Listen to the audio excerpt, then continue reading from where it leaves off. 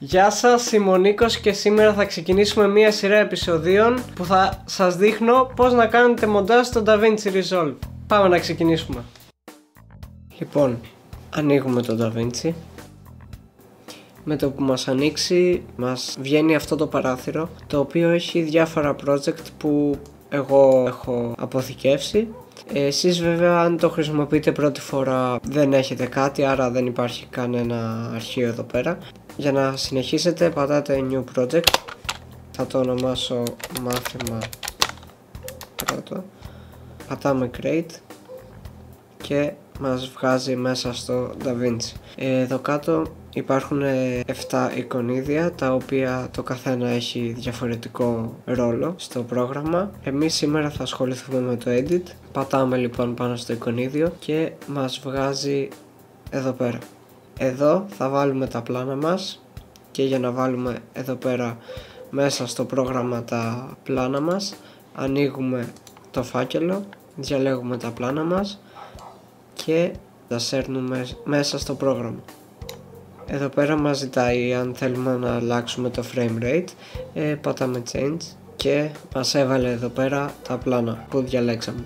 Τώρα διαλέγουμε το πλάνο που θέλουμε να επεξεργαστούμε και μπορούμε να το επεξεργαστούμε τώρα.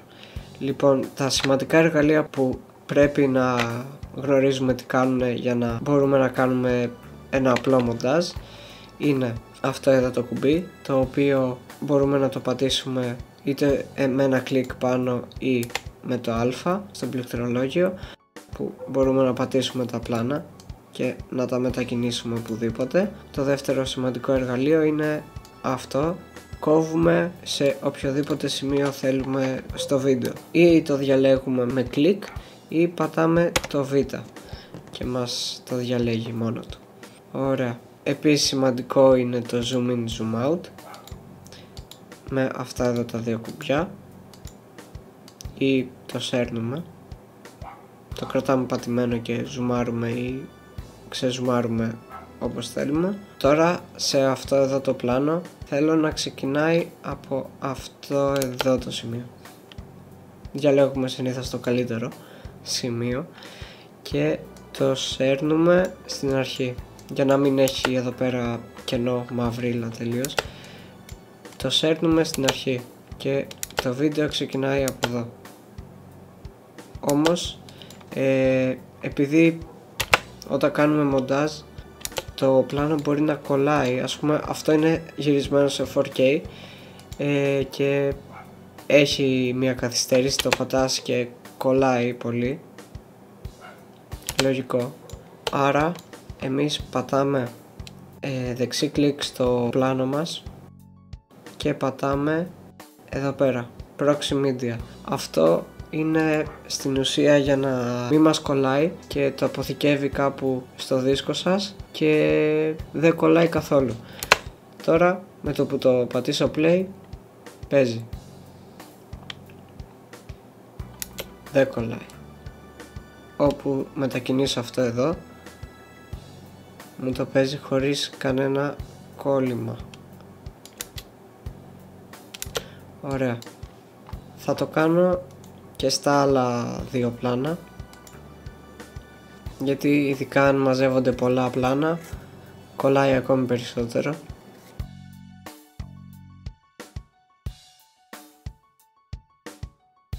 Λοιπόν τώρα που μας τα έκανε πρόξη σέρνουμε τώρα το επόμενο πλάνο που θέλουμε να βάλουμε μέσα στο βίντεο. Αρχικά αυτό εδώ το πλάνο θέλω να τελειώνει εδώ το οποίο μπορώ ή με το β και να το κόψω έτσι ή Ctrl β και delete αυτό το σημείο που δεν μας χρειάζεται στην ουσία και μας το πηγαίνει αυτόματα και το κολλάει ε, στο πλάνο.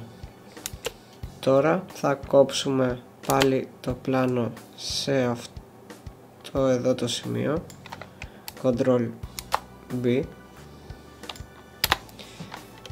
και θα ξεκινάει από αυτό το σημείο που το κόψαμε. Μέχρι εδώ. Και τώρα πάλι Ctrl B και το σβήνω. Σέρνουμε πάλι και το τρίτο πλάνο που θέλουμε να βάλουμε. Και θέλω να το κόψω Ctrl V πάλι σε αυτό το σημείο και να τελειώνει σε αυτό εδώ το σημείο. Επιλέγουμε το σημείο που θέλουμε να σβήσουμε το σβήνουμε. Τώρα έχουμε τα τρία πλάνα ενωμένα και για να κλείσουμε και το βίντεο πάμε το ποντίκι μας εδώ να μας βγάλει αυτό εδώ το σύμβολο και το πατάμε συνεχόμενα και το σπρώχνουμε προς τα αριστερά για να κάνει fade out να χαμηλώνει σιγά σιγά η φωτεινότητα και να σβήσει έτσι το βίντεο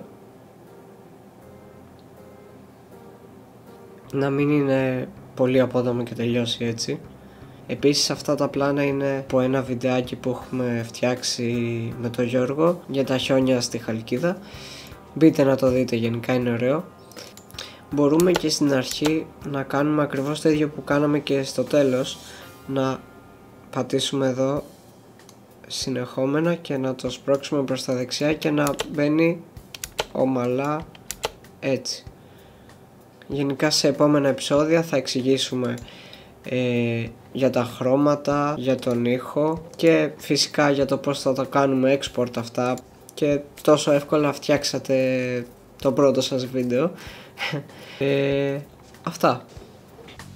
Αυτό ήταν το βίντεο, ελπίζω να σας βοήθησα. Κάντε ένα subscribe στο κανάλι μας. Αν σας δημιουργήθηκαν τυχόν απορίες, στείλτε μου ένα προσωπικό μήνυμα στα social μου media. Τα λέμε την επόμενη Τετάρτη.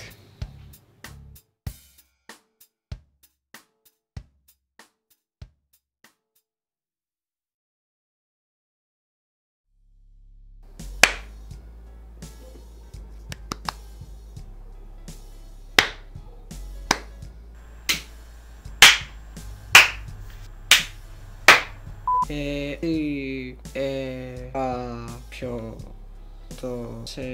Ελπίζω να σας βοήθησα με αυτό. Όχι. Ελπίζω να σας βοήθησε αυτό το βίντεο. Όχι, ναι.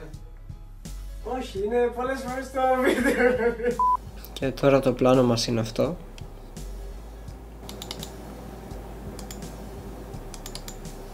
Πες μου ότι δεν έγραφε τόση ώρα.